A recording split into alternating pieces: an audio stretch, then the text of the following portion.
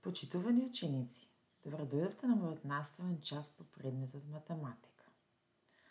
Јас сум оделински наставник Билјана Арсовска, доаѓам од основното училиште Вера Јоцик и денес ќе имаме за содржина да обработиме пишување на броевите до 50.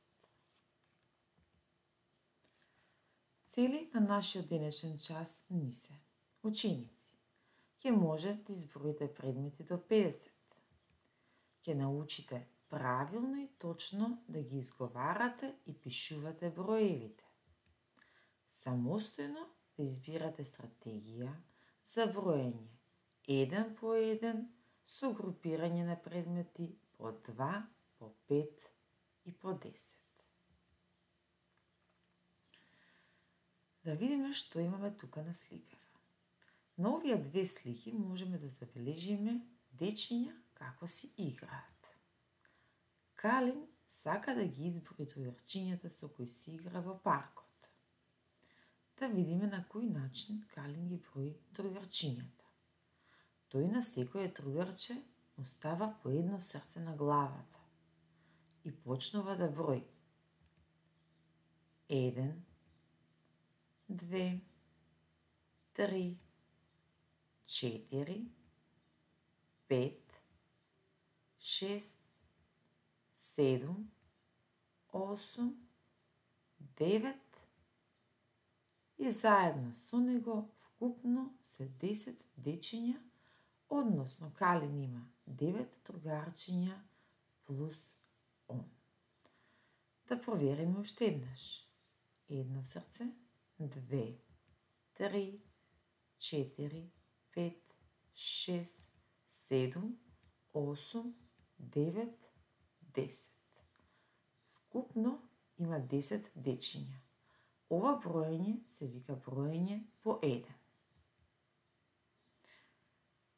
И мораме да кажеме, другарувањето е една од најубавите работи за детето. На втората слика гледаме на воспитувачката како им чита книга на дечињата можеме видливо да забележиме дека сите дечиња се насмејани. Таа има група од дечиња од целиот свет. Бидејќи не го разбираат јазикот на кој им зборува, таа покажала два прста и почнала да ги брои по два. Можеме да погледнеме како изгледа тоа. Еве ги групите по два два, четири, шест, осум, десет. Забележуваме дека воспитувачката брои по два. Ова броење се вика броење по два. И мора да кажеме, не е битна бојата на кожата и националноста. Битно е другарството. Сега ќе броиме по пет. На едната рака имаме пет прсти. На втората рака имаме уште пет прсти.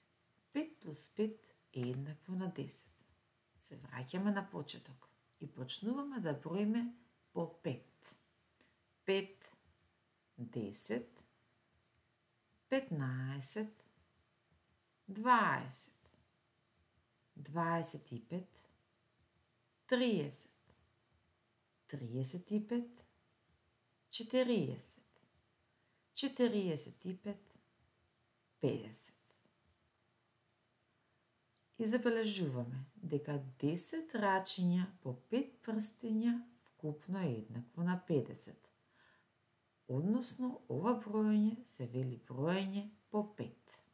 Бројот 5 го пишуваме 10 пати, како што ни е прикажан на сликава. Колку моливчиња има? Во една група има 10 моливчиња. Како ќе изброиме колку вкупно моливчиња има? Тука може да ни помогне броењето по 10. 10, 20, 30, 40, 50. Односно, на пет места имаме по 10 моливчиња, а тоа е 10 плюс 10 плюс 10 плюс 10 плюс 10. Вкупно 50 моливчиња. Да повториме, да видиме, да се провериме колку сме научиле. Ќе почнеме од почеток. Ќе броиме по еден. Да изброиме колку јаболка има.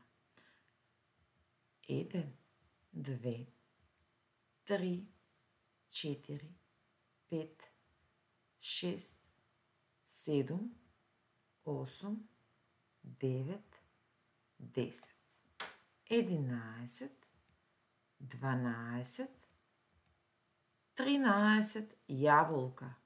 Ова броење се вели како? Одлично. Броење по еден.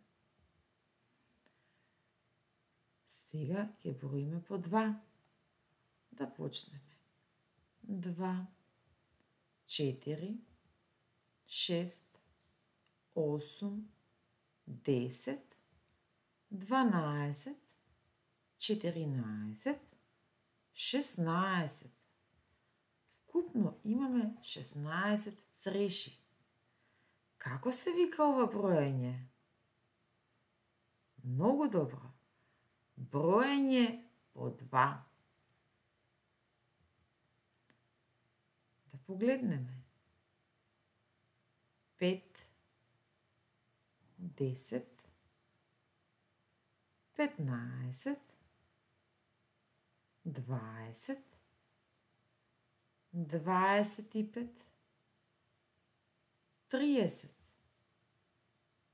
дваесет и пет, триесет, триесет и пет, четириесет, четириесет и пет, педесет.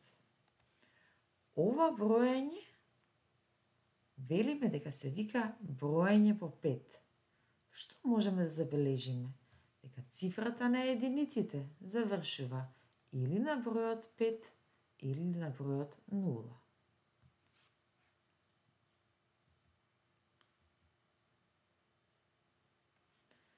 Ни дојде едно моливче.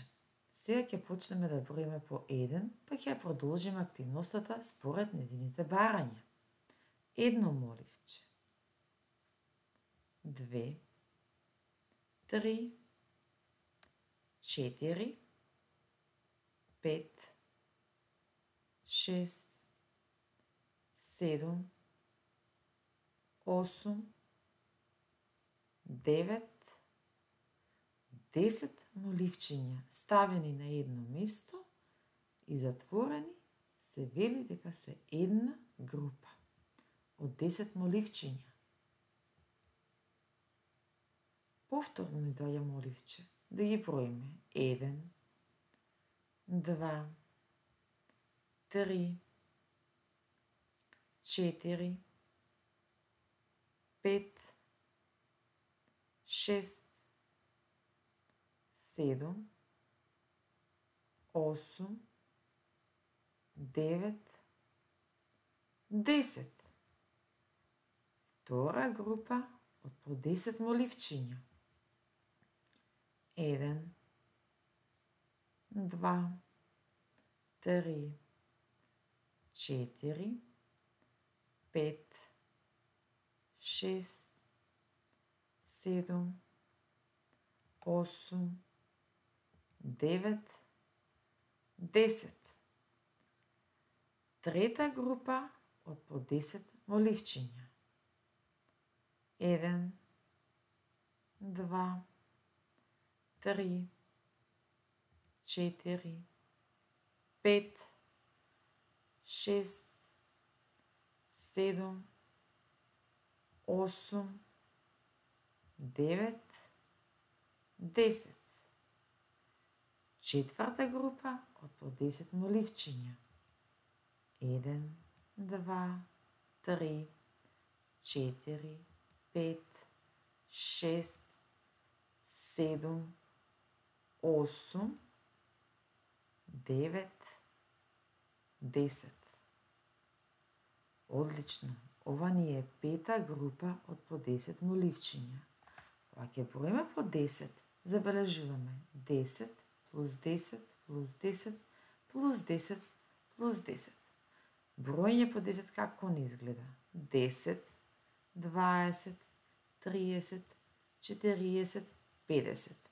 Односно 5 пати 5 групи по 10 е еднакво на вкупно 50 моливчиња. Одлично! Се надевам дека ви беше многу лесно и доста интересно. Сега би ве замолила за домашна работа. Земете во двете рачиња колку што можете повеќе боички. Обидете се да ги изброите со броење по 1, по 2 и по 5. Ви благодарам. Довидување, дечиња, до следниот час.